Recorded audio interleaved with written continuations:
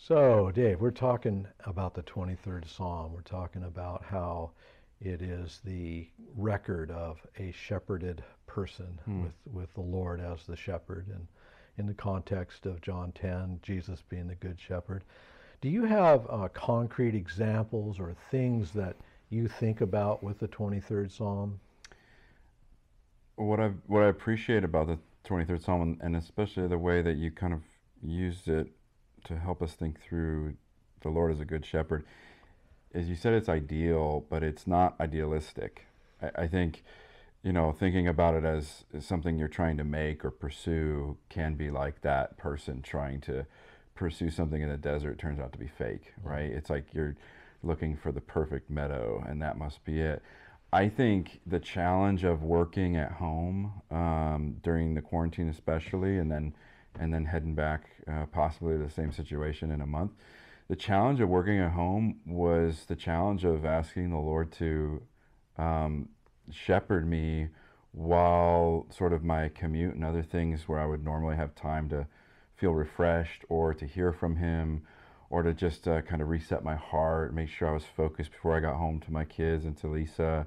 Um, that was a struggle, and and I think you know if I had been waiting for an ideal moment when everything went back to normal or something, or like I got my commute back, or you know whatever Mm. I was used to accomplishing something in my daily schedule before, if I waited for that, it still wouldn't be here, right? Wow. And and so what the Lord did is a very small but really beautiful thing is um, at the end of the day, like around the late afternoon, early evening, um, because I'd been teaching in the garage, I, I had the garage door open, and but I would have the kids come out um, because they were finally able to sort of be around and not, you know, I wasn't working anymore.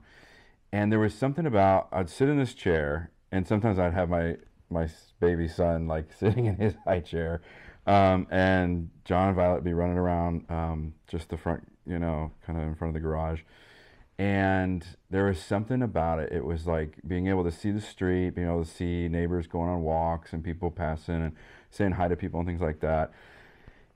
It was different than even doing the same thing like in the backyard. You know, the backyard is beautiful, and I like, oh, I could be refreshed if I just go back there and look at the trees or something. There's something about being um, able to sit in the garage, like right out in the garage, in the driveway there, and kind of see life and see my neighbors coming and going and kind of seeing people and and having you know my kids running around and saying hi to the neighbors. And there was something about that that became kind of like my time to kind of see the Lord again and kind of like I would maybe on a the old commute home. Um, and you know it's it's it's prettier out back. And so it's like the green meadows kind of look more like they'd be in the backyard. Ah. but there's something about it being open to just the world and the street and what people are doing that it felt like it, it feels even now it feels like it restores and refreshes. And it's like the lord kind of showing me like this is this is the place i have you. The, these are the things i brought into your life. There aren't these aren't accidents. You know this is a part of my care for you. And it can like i said it can just be the simplicity of that that has touched me in my heart and helped me to just sort of have a place in my life with the lord on a daily basis that is like that that cool stream or that mm-hmm. meadow.